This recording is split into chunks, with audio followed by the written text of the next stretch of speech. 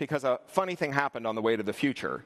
So in 1998, Congress passed the Digital Millennium Copyright Act, DMCA, the author of all your favorite YouTube videos. This video has been removed thanks to a claim by DMCA. Uh, the DMCA contains this section, Section 1201, that makes it a felony punishable by five years in prison and a $500,000 fine to tamper with DRM.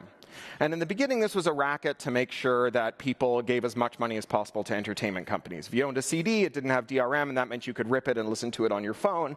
If you bought a DVD, it had DRM. It was against the law to rip it, so you had to buy it again to watch it on your phone. And that was the, that was the uh, initial plan. And it wasn't like it was hard to break. People broke it really early on, but they risked horrible penalties for doing it.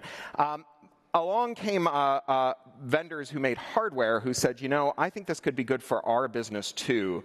And they embarked on this project to lock down their hardware using, DM, using the DMCA and using DRM. And the first of these was Lexmark, uh, then a division of IBM. They made laser printers. Uh, they used DRM to lock the bit in their toner cartridge that said, I am empty.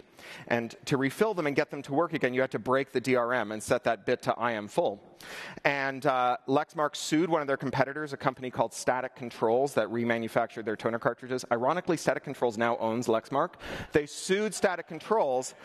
And the court at the time, the Federal Circuit said, okay, well, I've been looking for the copyrighted work your DRM protects. Is it this zero or one? It's not a copyrighted work. Sorry, get lost.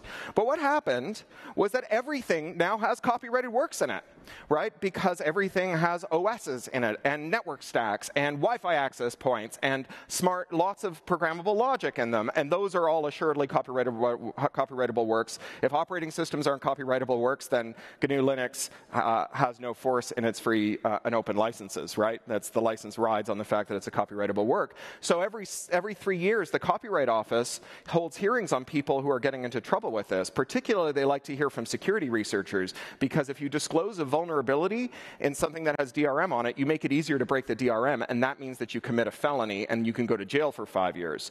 And so this year, the Copyright Office heard some hair raising stories. You know, like these guys. They uh, broke the security on a Chrysler Jeep that had a Sprint network SIM in it. The, Sprint, the uh, security model of Chrysler was um, nobody uses Sprint. So our, our Jeep.